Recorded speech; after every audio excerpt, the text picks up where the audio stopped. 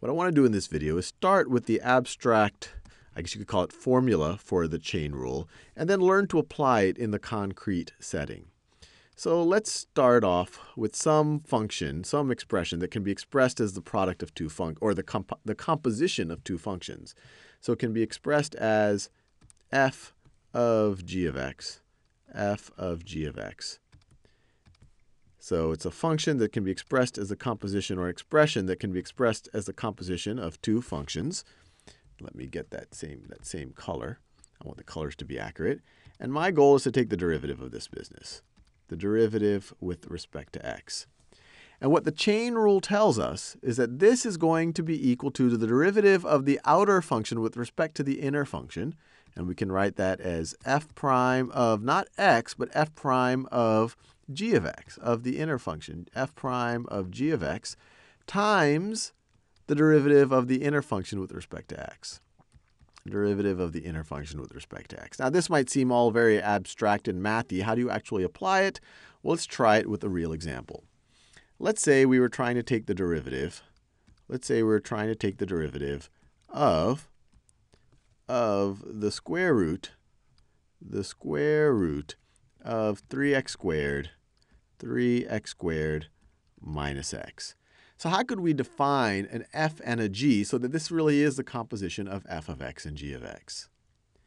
Well, we could define f of x, if we defined f of x as being equal to the square root of x, and if we defined g of x, g of x as being equaling as being equal to 3x squared minus x, then what is f of g of x?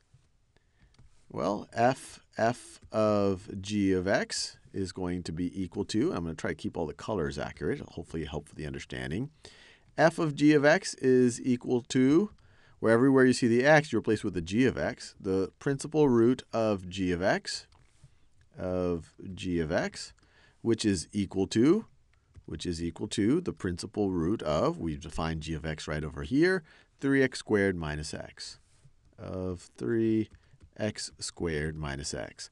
So this thing right over here is exactly f of g of x if we define f of x in this way and g of x in this way. Fair enough. So let's apply the chain rule. What is, what is f prime of g of x going to be equal to? The derivative of f with respect to g. Well, what's f prime of x? F prime of x is equal to, this is the same thing as x to the 1 half power, so we can just apply the power rule. So it's going to be 1 half times x to the, and then we just take 1 away from the exponent. 1 half minus 1 is negative 1 half. And so what is f prime of g of x? f prime of g of x. Well, wherever we're in the derivative we saw an x, we can replace it with a g of x. So it's going to be 1 half times, instead of an x to the negative 1 half, we can write a g of x. We can write a g of x to the 1 half. And this is just going to be equal to, this is just going to be equal to, let me write it right over here. It's going to be equal to 1 half, 1 half times all of this business to the negative 1 half power.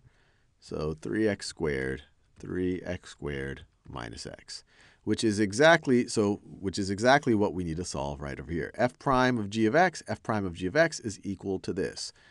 So this part right over here, I will let me square it off in green.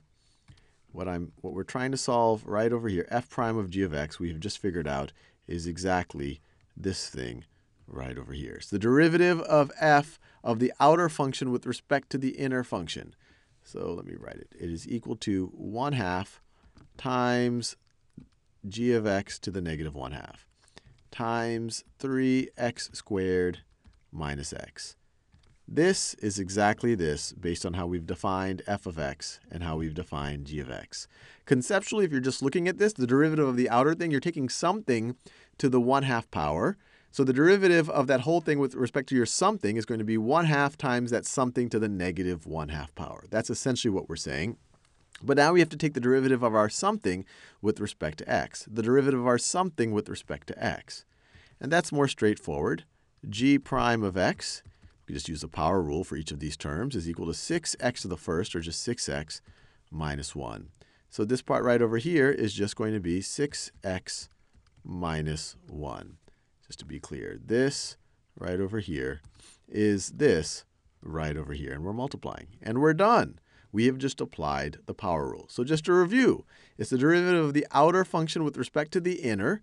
So instead of having 1 half x to the negative 1 half, it's 1 half g of x to the negative 1 half times the derivative of the inner function with respect to x times the derivative of g with respect to x, which is right over there.